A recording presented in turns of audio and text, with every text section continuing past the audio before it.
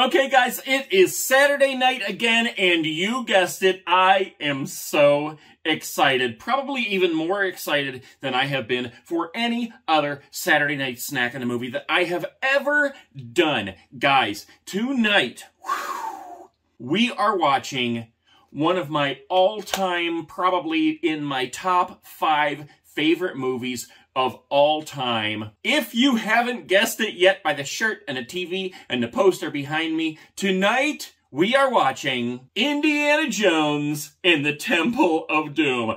Oh my gosh, guys, I love this movie so much you wouldn't even believe it. Take a look at this poster back here. We got the Indiana Jones and the Temple of Doom poster. We got Shorty's hat. We got Indy's hat. We got Indy's whip. We got Indy's book of adventures. And tonight, we are going to make something else that we need to put up a little shelf for on that wall so we can display it. And that would be this guy right here. What in the world? Guys, do you remember the scene when they are at the temple? They're sitting around the table and everybody's getting ready to eat and they pull out the chilled monkey brains. When I decided to do this movie, guys, I knew we had to do the chilled monkey brains, but I had no idea where we were going to get a chilled monkey brains head. So I made one. Tonight, you guys are gonna come with me, well, right over here, well, I pull out the clay and a bunch of other things to show you exactly how I made this.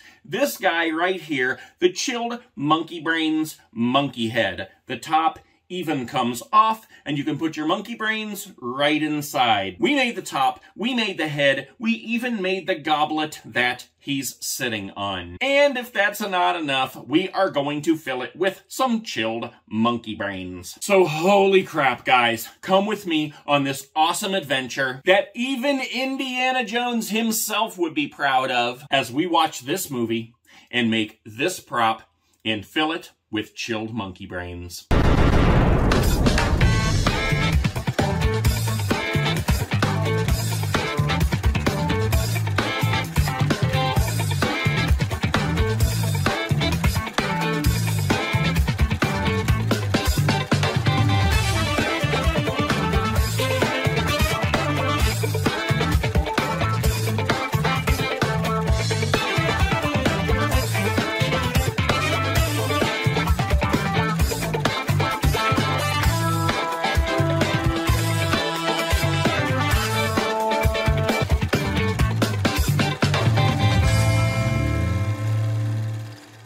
Okay, so this is going to be very interesting. I went today to a Michael's store and to a Dollar Tree, and I'm going to show you what I picked up to use in an attempt to make this monkey cup bowl, whatever, so that we could eat our monkey brains out of an actual monkey head, just like in the Temple of Doom.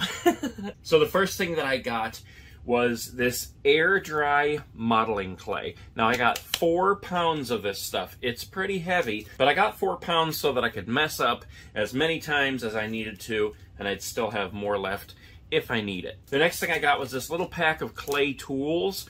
This is used for like shaping and cutting and scratching.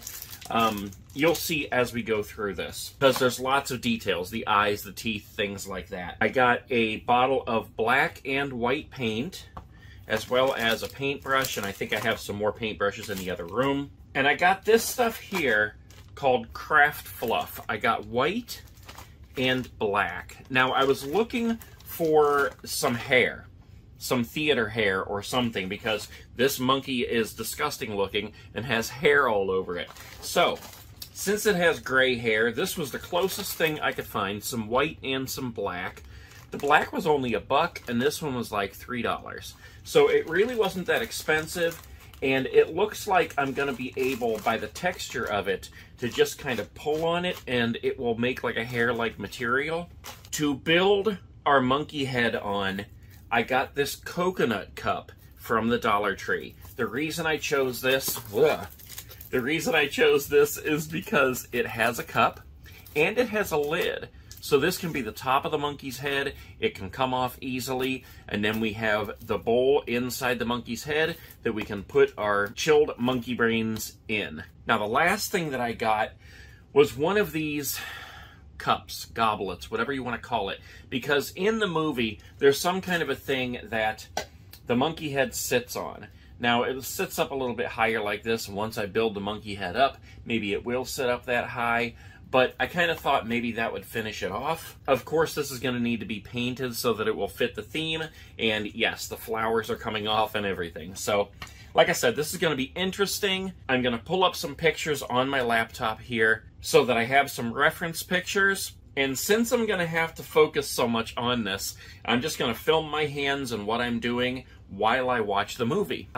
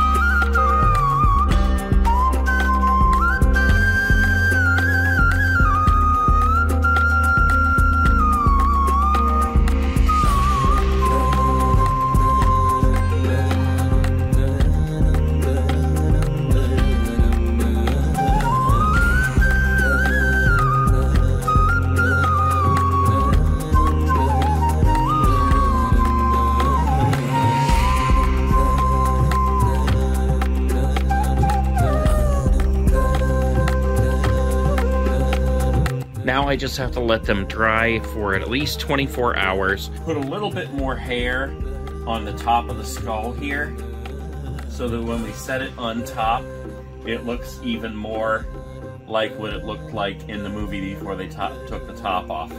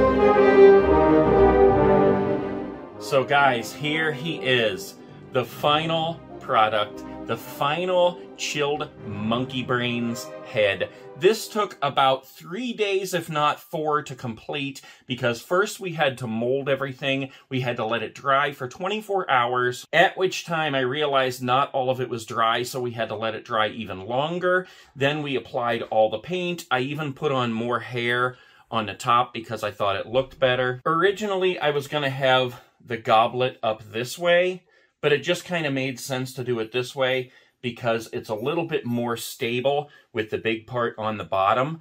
But look at that face. I think that turned out really, really good. The top comes off, and we can put our chilled monkey brains right in the bowl on the inside.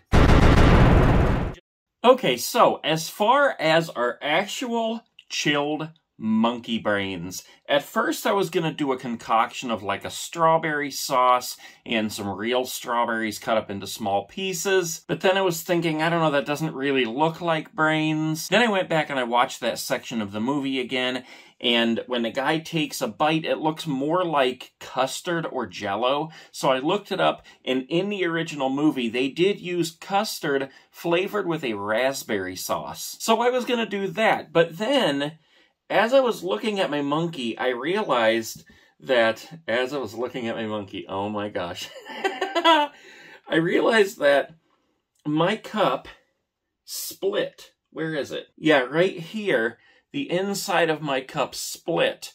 Must have been from when I was rolling it to try to flatten out the clay. And I just realized also that my monkey head is cracked right there. What the heck? I gotta learn how to better use clay because I didn't use any water when I was molding this guy. Let's fix your hair. and if I would have used water, I would have been able to like smooth that down a little bit more and that probably would have prevented the cracks. If we take a look at the goblet here as well, there's also some cracks around there. So it looks really cool but I'm kind of afraid to put anything wet in there, being that I broke the coconut cup. So what I decided to do was, I got two of these bags of gummy snakes. And if you remember in the movie, they also have Snake Surprise for dessert, where they cut open this giant snake and then all these little like eels crawl out.